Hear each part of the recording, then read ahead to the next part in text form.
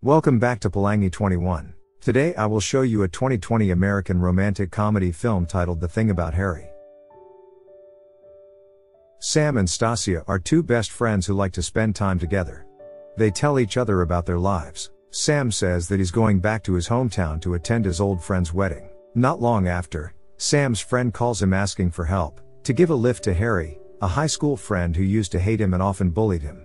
As a favor to a friend, Sam reluctantly accepts the offer. Two days later, Sam is waiting for Harry at the appointed place. Sam still seems hesitant to agree to do this. He calls Stasia and she assures him he will be fine. 20 minutes passed from the appointed time, Sam is about to leave, but suddenly Harry comes running. Even though Harry was late, he doesn't even apologize and starts being annoying to Sam. Sam begins a road trip to his hometown with his high school bully Harry. During the trip, Harry and Sam talk about their past. Sam tells him how Harry always bothered him, but Harry never remembered this. Harry then casually reveals himself to be pansexual. This shocked Sam, causing the car he is driving to go off the road. That night they stay at a motel, because the car had to be repaired. Sam and Harry begin to reconnect their lives. Talking about their future, their dreams and they both want to have a family someday. Sam is shocked because they share a connection. The next day, they continue their trip and arrive at the wedding. However, Harry ditches Sam to make up with his ex-girlfriend. A year later, Sam and Stasia meet Harry at a party. In a drunken state, Sam starts asking about Harry's relationship with his ex-girlfriend and Sam insults Harry by calling him a slut. But Harry doesn't mind the insult, and he tells him that he is now broken up with his ex-girlfriend and is still single. Sam who is actually also interested in Harry, trying to approach him. However, when Sam sees Harry flirting with another man, he becomes angry and leaves him. Six months later, Sam is brought by his new boyfriend Paul to a bar trivia where he stumbles upon Harry and his roommate Zach. In the bar, Harry teases Sam for dating Paul, and Sam teases Harry about his job because Harry couldn't keep one job. During the trivia, Harry answers many questions correctly, much to Sam's amazement.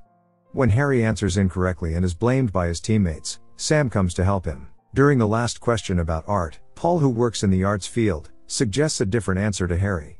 Sam chooses Harry's answer over Paul's and makes their team win. However, this causes Paul to leave and break up with him. Afterwards, Sam and Harry decide to walk home together, and Harry expresses regret that Sam broke up with Paul. But Sam doesn't really mind it, and they decide to stop by the bar where Stasia worked and spend some time there. Zach notices that Harry keeps paying attention to Sam, which makes him tease Harry. Harry doesn't admit that he is interested in Sam. Over the next few months, Sam and Harry grow closer as friends. During the Chicago Pride celebration at a bar, Harry asks Sam whether the latter will consider dating him. Sam reiterates his stance against dating friends, because he was traumatized by dating his best friend, and he cheated on him. He says that best friends shouldn't date.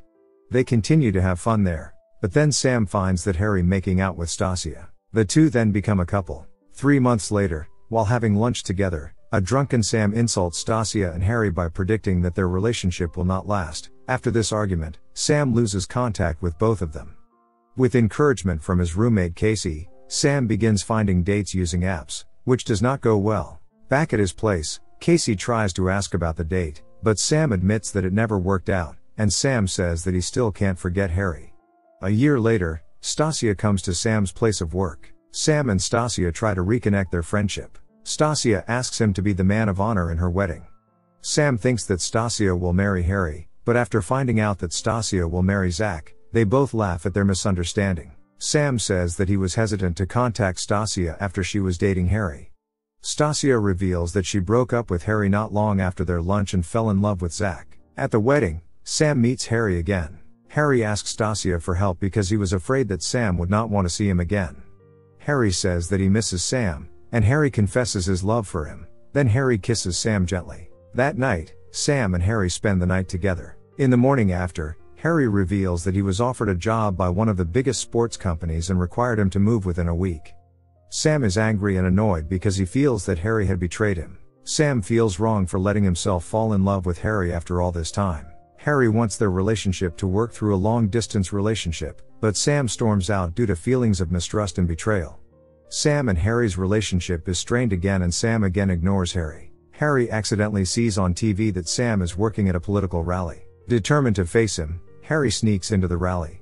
On stage, He apologizes to Sam and states that nothing is more important than staying together with him. Sam is touched by the confession, immediately runs onto the stage and kisses Harry. A few years later, Sam and Harry are married and raising a child together. This romantic comedy film is quite entertaining, a little cringe but funny and charming.